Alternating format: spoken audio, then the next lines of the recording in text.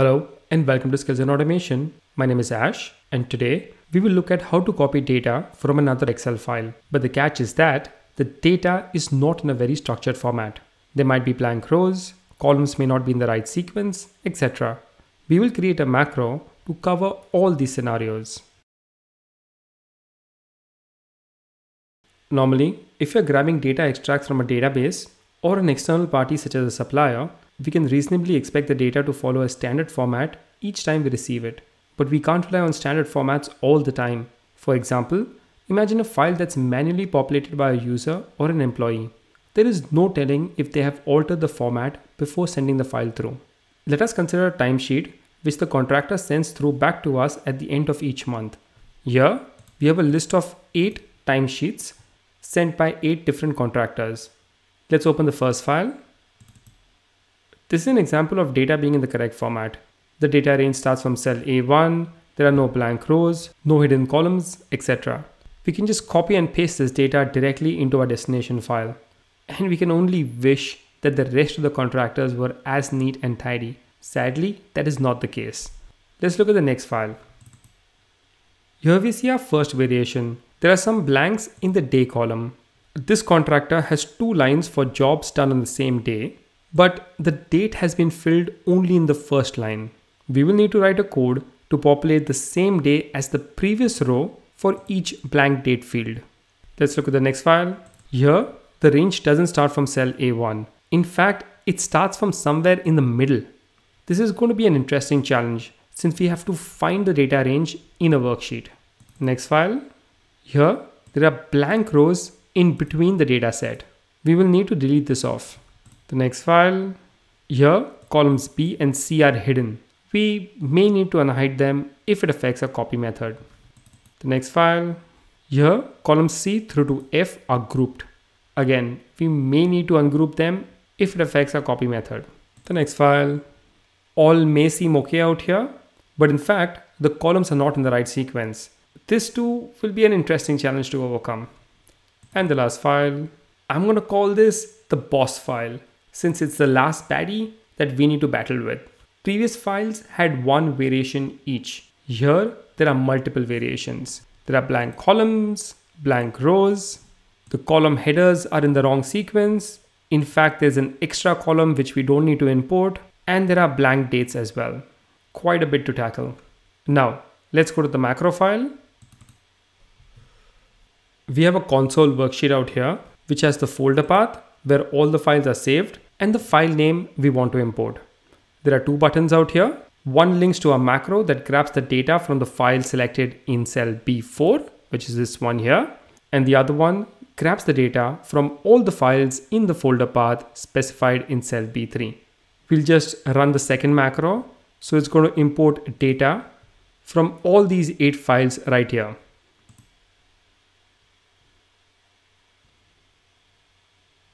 And that's done. Let's go to our data sheet. All the data from the eight files has come into the right columns. There are no blanks. So it appears we have corrected the distortions. The main point to note here is that one macro is going to take care of everything, which is pretty amazing and also make it a bit complicated. So hang on tight. This is going to be an interesting video, but we need to note some points. There are probably a lot more ways the data can be distorted. We're just going to cover the common ways. And we shouldn't always try and use code to fix user errors. Sometimes we just need to draw a line in the sand and reject the file if the data is too distorted. For our macro approach, we will write the initial code to copy and paste the correct format. Then we will add each variation for each file as we go. And finally, we will add the loop. This will result in a code which is stable and will work, but it may not be the most optimized piece of code. However, I feel that this linear approach is the best way for me to explain the logic. If you have any suggestions though, please let me know in the comments. In the interest of time, we won't cover any error handling scenarios. All the code covered here is available on my blog site and the macro file and the data files will be available on GitHub. Links will be in the description below. And starting from this video onwards, I'll be posting snippets of this video on YouTube that cover individual techniques. So watch out for those as well. So here we have our template macro file open. There is no code in here yet. It's just a blank shell. In cell B3, we'll include the folder path where the import files are saved. So copy, paste, and in cell B4, we'll write in the file name that we want to import. We'll start with the first file which has data in the right format. So this one right here, rename, copy and paste. Let's look at the other sheets. You'll notice that there are two more sheets, work and data. We will copy data from the import file as is and paste it into the worksheet work. We will perform all our format corrections out here. And once the data is aligned, we will transfer it to our worksheet data. The idea here is that we do not want to do any corrections in the original file. So we need a temporary location that is the worksheet work where we can do all the corrections before we proceed to the final destination. Okay, let's begin coding. Alt F11 to go to our VB editor. A quick note before we begin. We'll be referring to worksheets using the worksheet's code name, which can be set by clicking on the worksheet, coming down to the properties window, and typing in the code name out here. Now, we will build the macro in three blocks. The first block will contain a sub designed to only import the data into the worksheet work. The second block will contain two subs designed to correct the data while it's still sitting in the worksheet work. And the third block will contain a sub that transfers data from the worksheet work to the worksheet data. I have designed this so that we can just focus on the parts we are working on. But you could optimize the code further by combining all of this together. Now let's create four modules, one for each block and one which will hold the main sub procedure and call the three separate subs from each block. We'll call this module main. Call the next one import. Call this one correct. And one more, which we'll call transfers. Okay, let's start with block one.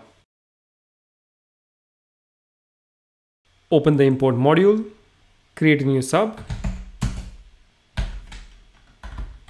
Let's clear any previous contents from the worksheet work. And we'll clear the contents in the worksheet data as well. But in this case, we will retain the headers, which are in columns A through to F. So we'll only delete data from row 2 onwards and within the columns A and F.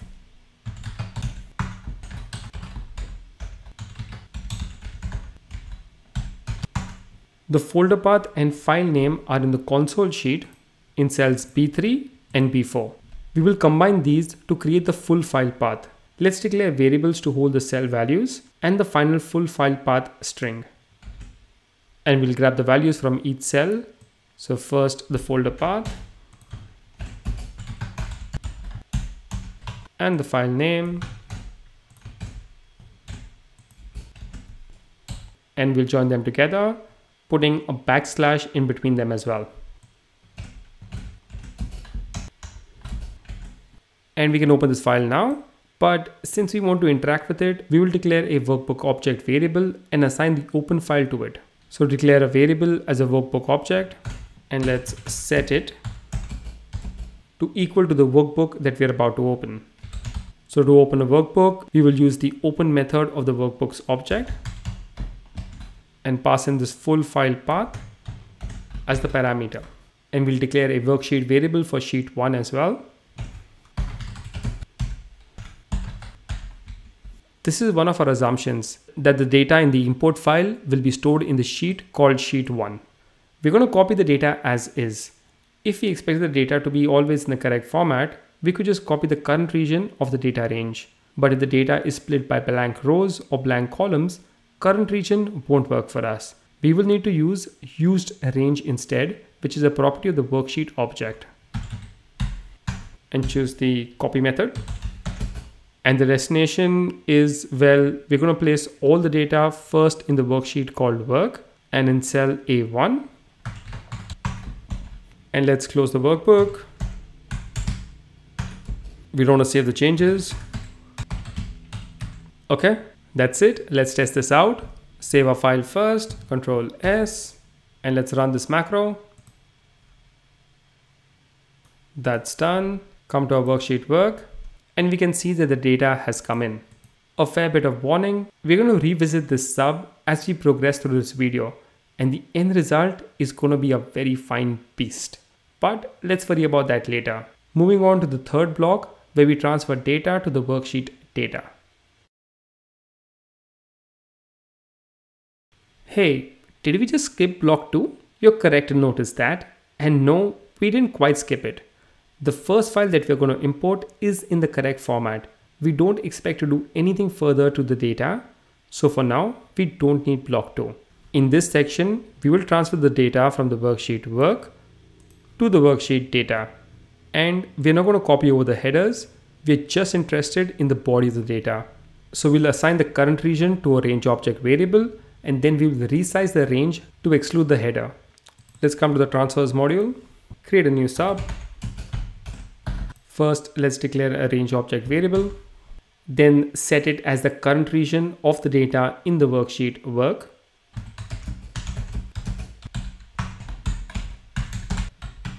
Now we want to exclude the headers. To do that, we will move down one row using offset, thus skipping over the header we can just reuse the same range object variable. So we'll move down one row and then we will resize the range to include one less row but keeping the same number of columns. So the rows will be the count of rows in the range minus 1 and the columns will be the count of columns in the range. Now that we have the range, we could just copy and paste this range over to the worksheet data into cell A2. Something like this. And the destination is cell A2 in the data worksheet. This would most definitely work. However, I just want to future proof the code a bit. In the final state, we'll be looping over all the files and pasting data from each file one below the other in the worksheet data. So we can't just directly paste data into cell A2 we need to find the first available row in the worksheet data and paste our data in there. So let's dim a variable to hold the next available row. To find the next available row, we'll count the number of rows in the current region and add 1 to it. And add 1. And now we can paste the data into column A and into this next available row. So delete this part out, close the double quotes and paste in a variable. Great, save the file. Let's test this out, run the macro. So this is our worksheet work and let's go to our worksheet data and we can see that the data has copied over. Okay, now let's test this end to end. Now we need to run both the previous two macros in one single step. For that, we'll create one new sub and call each of those two subs one after the other. So we'll come here to our main module, create a new sub. Let's call the first sub, which is import data. And call the next one, which is transfer data.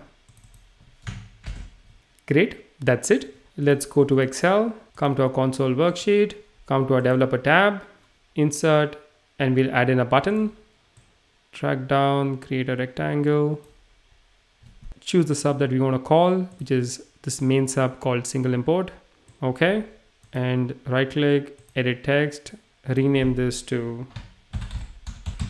import single file let's save our file and run this so it's run our data has come into the worksheet work and it's transferred to the worksheet data as well. Great. Now let's look at our first variation. In this scenario, we look at the file with the first variation in it. Here we have some blank dates. The contractor seems to have omitted out the dates where there are two or more jobs on the same day. What we will do is loop through the day column and if we find a blank, we will assign the same date as the above cell. This will be a block 2 code where we correct the data that we have imported into the worksheet work. Open the module correct create a new sub. We need to find the last row in order to loop over the data. Now, I just want to pause here a bit. There are many ways to find the last row. I have a video on it and I would encourage you to check it out. The point though is that the correct method would be dependent on how confident we are about our data set.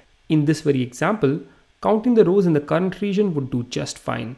But in future, we may expect there to be blank rows and the current region would fail in that case. The best way to find the last row in an unstructured data set is by using the range.find method. So let's dim a variable to hold the last row. I'm just going to paste in the code for the find method it's a bit long-winded, but we'll go through it step by step since we'll be using this a lot in our project. Okay, so what are we doing out here? We are searching for any value which is indicated by the asterisk signs within all the cells in the worksheet work. We will start our search from range A1 and we'll go backwards which is indicated by the search direction. So this will basically start our search from the bottom of the worksheet all the way through to the top till it finds the last used cell and from that cell or range we'll grab its row number. Again, if you're not familiar with this, please check out my video on this topic. Now, let's declare an iteration variable for the loop and a string variable to hold the date. This string data type for the date is on purpose as otherwise our code would error out if the contractor has filled in some value other than a date in that column. Let's create a loop We'll skip the header and start the loop from the second row. Assign the value from the current row in column B to the state variable.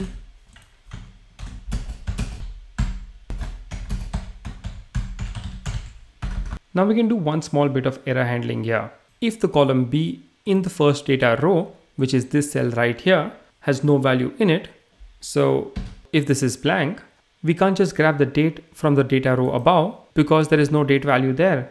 In that case, we'll assign the cell a text value called unknown. So the value in the cell is blank and if we are in the second row, then we'll assign that cell a text value called unknown. And if that happens, we want to skip over to the next row and not continue with the rest of the code in this loop. We'll use a line label to achieve this. So if this condition is met, we'll jump to this line label, which we will place right before we jump to the next iteration. Great. And if this condition is not met, it would mean that the first cell is not blank and we are now in the next row. In that case, if the state variable is still blank, then we'll assign the value in the above cell to it. So the value in the current cell will be the value of the cell directly above it, which would be in the same column but the row would be minus one, which is the row above it. And that's it for this sub. Let's add this to our main sub procedure. So copy the sub name, come to the main sub procedure, and let's call the sub. And now let's change the file name to the first variation file, which is this one right here. Control V, save this file, and let's import it we can see that everything is copied over and there are no blanks in the date column. Awesome. Moving on to the next scenario where the data range could be anywhere in the worksheet. Let's look at our next variation file. This data range is well away from the boundaries of the worksheet. That is, it does not begin in the first row, nor does it begin in the first column. So without actually looking at the worksheet physically, it would be very difficult for us to tell where this data range exactly is. Okay, so how do we proceed out here? Well, we can use the range.find method to find the first used row, the first used column, the last used row, and the last used column. This would effectively give us the boundary of the range, which is what we need to define it and copy it. We will need to make changes to our block 1 code where we import the data from the source file. So we'll need to delete this line off and replace it with the range.find method. Let's head on over to my blog site and we'll type in last row and we'll go to this article on how to find the last row using the find method and scroll below. So this right here is the code to find a use range in a worksheet no matter where it is. Let's copy all of this and no, we are not cheating out here This is exactly how we build code in real life. If you don't know how to do something, then search for it online, go to the website, and if you trust the code, copy it and paste it into your VB editor. So let's paste it right here. So let's see what's happening in this code. This first line is looking for the last used row. We can tell by looking at the after parameter, the search order, and the search direction. We're going to start our search from the first cell and look backwards. This will take us to the bottom of the data set and we're searching by rows. So we're going to find the cell in the last row and from that we can get the row number. And the next line is looking for the last used column. It does the same thing as above, just here the search order is by columns. And the next line is looking for the first used row. And here's a twist. We'll start the search from the very last cell in the worksheet. And then we will look in the next cell, which is the opposite of what we did above. So to go to the last cell in Excel, do control right and then control down. So this is the last cell in Excel and a search direction is next, which will effectively take us right to the top of the worksheet and we'll start looking in cell A1 onwards. And since the search direction is by rows, we know we're looking for the first use row. The next line uses the same logic. Just here, we're looking for columns, which will give us the first use column. And finally, we come to the select method. With the four results from up here, we can determine our range. To determine our range dynamically, we need the first cell and the very last cell in the data range. The first cell can be referred to using the first row and the first column while the last cell can be referred to using the last row and the last column. Okay, so we need to tweak this code slightly to suit our needs, nothing much. We'll just update these worksheet references. So wherever we see WSINV, we'll replace it with the worksheet we're trying to copy the data range from, which is the worksheet of the file we've just opened, which is WS. So the shortcut for doing this is just select this entire data range go control F. So you want to find WS WSINV, go replace. We're going to replace it with WS and hit replace all. Okay. And all instances of WS WSINV have now become WS. Now come down to the select method, delete this off. So we'll choose the copy method. And the destination is range A1 in the worksheet work. And that's it. Let's save this file and we'll run the macro on the version 2 file. So let's click the button, come to our data worksheet, and this is our data out here. Everything's pasted fine. All the blank columns and the blank rows at the start have disappeared. Awesome. Moving on to the next scenario.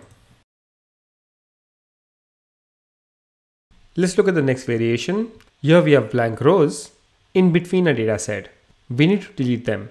Just note here, we want to delete the row only if there is no data in the entire row. If the row has one or a few blank cells, we would still like to retain it. Okay, this code will go into our block 2 where we correct our data. So come to our correct module, create a new sub, give it a name. We will call this sub right after we import the data.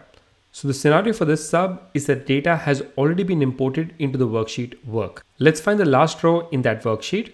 So we'll dim a variable for it and we'll use the range.find method to find the last row. Now we'll create a loop to iterate through the data set and delete off the blank rows. But the point to note here is that we need to iterate backwards. That is from the last row to the top. Why backwards? Well, the best answer to that is to create a normal loop starting from the first row and moving down to the last row and then we'll see what happens out there. So dim an iteration variable, create the loop. And how can we tell if the row is blank? Well, we can use the Excel count a function, which counts the non-blank cells. And if there are only blank cells in a row, then the function will return a zero. Let's write an if statement to check for that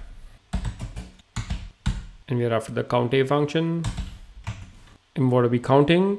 We're counting for all the non-blank cells in the current row in the worksheet work. And if there are no non-blank cells, that is, if this function returns a zero, then, well then, we'll just delete off this row. Let's save this.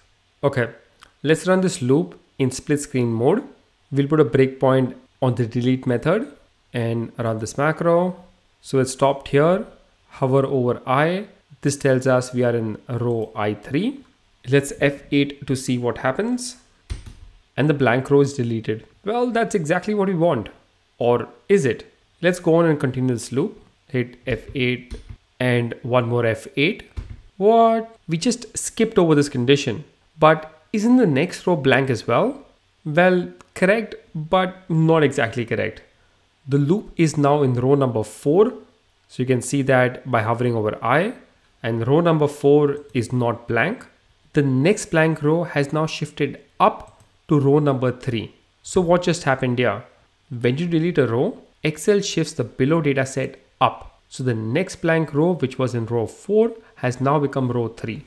So this is the issue with looping from top to down and trying to delete rows. If there are two consecutive blank rows, then the second row will get skipped over. We won't face this issue when we loop backwards, and I won't dissect the code by stepping through it. If you have any doubts, I will encourage you to step through the code in a backward loop and see what exactly happens to the data when you delete a row. So stop this, remove the breakpoint. Okay, now we'll go backwards. So starting from the last row and moving up to row one, and how do we tell the loop to go backwards? We need to say step and minus one. Let's run this now. Come to Excel file. All the blank rows have been deleted. And since we're already in this sub, let's create some code to delete blank columns. Even if it's not a requirement for this variation, it's good to have that code as well. I'm just going to go ahead and paste in the code out here. This is the exact same thing that we did up here. The only difference is that this time we're looking for columns and we're deleting off the blank columns. Okay, let's add this sub to our main macro, control C, and we'll call it right after we import the data. Save the file, come to our console worksheet, change the file name, and let's import. Great, the data is pasted over, there are no blank rows, awesome. Let's move on to the next scenarios. This is our next file. We have some columns out here which are hidden. So do we need to unhide these before we copy them? Let's test it out. Come to our macro, change the file name to variation 4, and let's import that file that we just saw. Come to the data worksheet, and everything seems to have pasted fine, including the hidden columns. So I'm sorry, this was a bit of a misdirection. We don't need to do anything out here. Let's look at the next file. Some columns out here have been grouped and you may be skeptical here whether we need to do anything here as well. The answer to that is let's test it and see. Come to our macro, change this to variation 5 and we'll import the file. That's done. Come to our data worksheet and everything seems to have pasted here fine. So both these scenarios were misdirections. And just to be clear, we don't need to unhide or ungroup rows or columns in order to copy them. But I think there is value in knowing that you don't have to worry about the scenarios when importing data. Okay, moving on to the next scenario. And let's look at the next file. On first glance, everything does look fine out here, but actually the columns are not in sequence. This R's column should actually be in the last position. Let's see how to code for this complexity. For this, we're going to have to rewrite our entire transfer data macro. This macro is designed to pick up the data range as is from the worksheet work into the worksheet data. It relies on the data being in the right sequence, but that's not a reliable assumption for us. And we'll just need to create some new logic. I'm going to comment out the original sub so that you can access this old code as well from GitHub. Let's create a new sub with the same name. Let's think through what we're going to do out here. We're going to loop through each column header in the data worksheet and for every column header, we will search for the same column header in the worksheet work. And say once a match is found, we'll copy just the contents in that column over.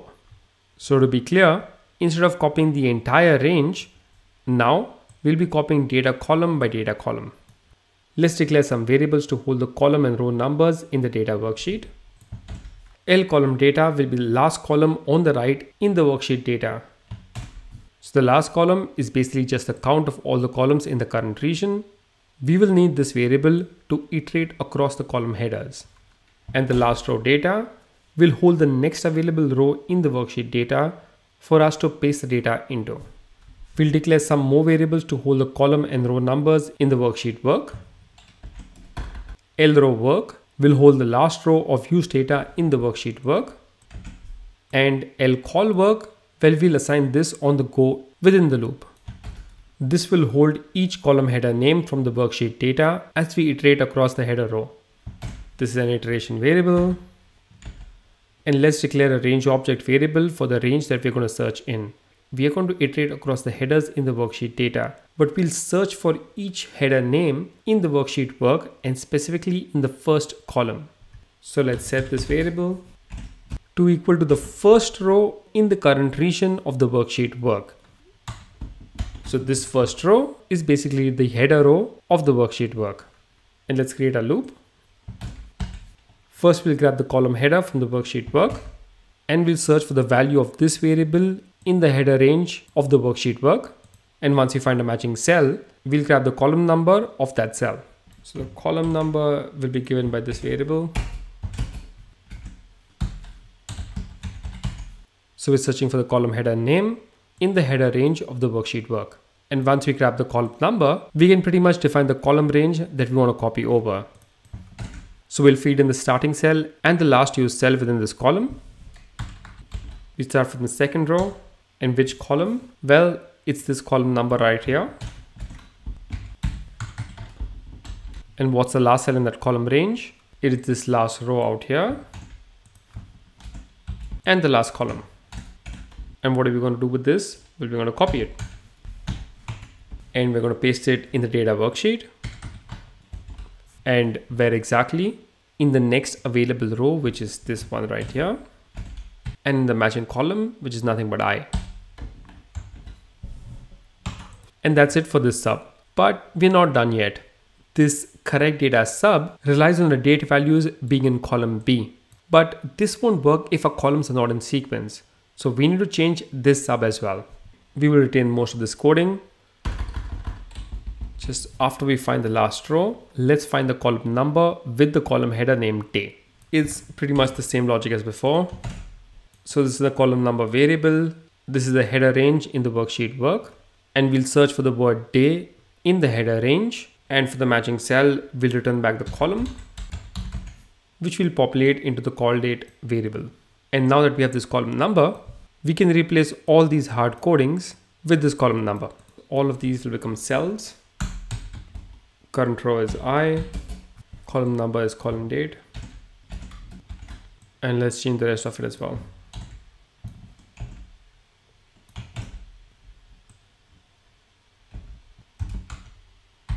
And that's it for this sub. Let's go to Excel, change the file name to variation 6, and let's run the macro. Awesome. Let's come to the data worksheet. Everything now has pasted into the right columns. So everything works well. Let's move on to the final boss version. This is the last file. Till now, we've dealt with one variation at a time. This final file contains a bit of every variation.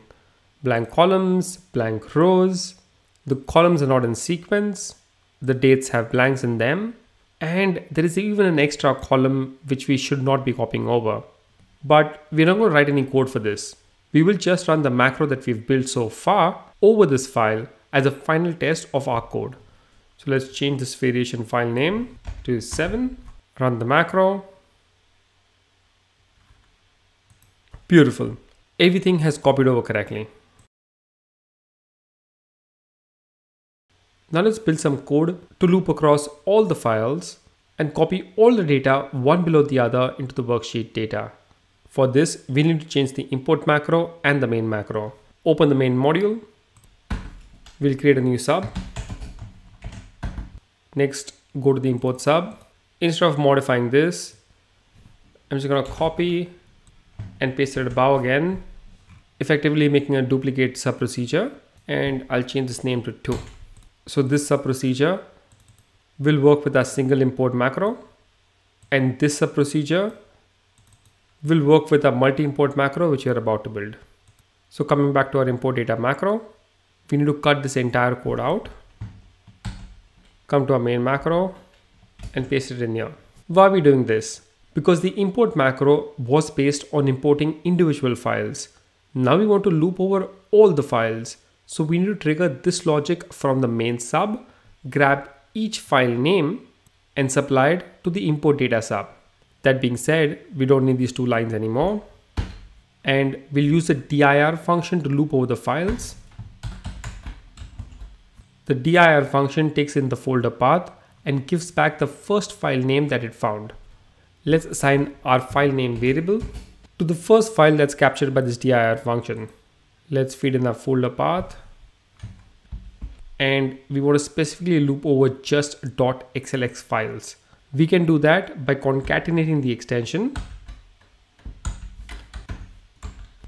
using this asterisk character, which denotes any file with the extension .xlsx. Now let's begin the loop. I'm going to make a separate detailed video on this, but in a nutshell, we'll create a do while loop that will run as long as we can find the next Excel file. Once the last file has been looped over, this do while loop will need to stop.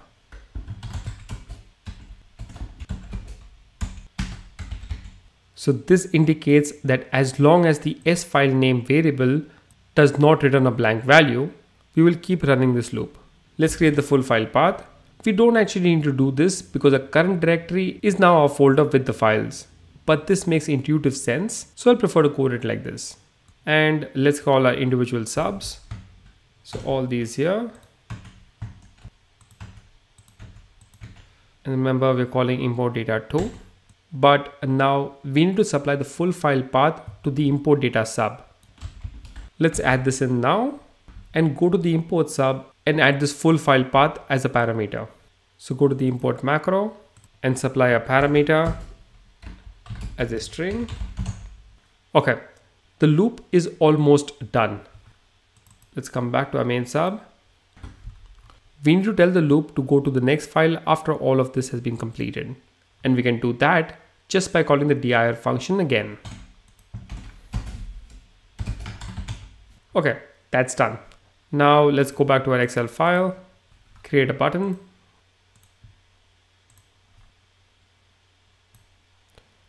We're to assign the multi-import macro. Rename this. And let's run this. For this macro, the individual file in cell B4 does not actually matter. All we're doing now is looking at the cell B3 for the folder path. So click on it. We got an error, click OK. Forgot an equal to sign, equal to, stop this. Let's try again. Okay, something's happening.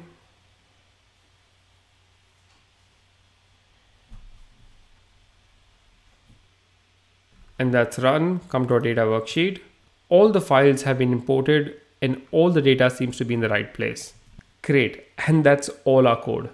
Let's wrap this video up with one note on error handling using find methods. One word of caution. We haven't looked at any error handling code, mostly to save time. But there's one thing I would like to point out too, just so that you're aware. The rangefind method works amazing if there is a match to be found. But if there is no match found, it would throw an error and you may need to plan for that. What you could do is add a resume next statement prior to the rangefind code. This would skip the next line of code if an error is found and then you could reset the error handler with a go to zero statement after the range.find line. This will not affect the code but could prevent the macro from going bust. And that's the video. We've covered a lot of interesting ground here. At least I hope you found it interesting.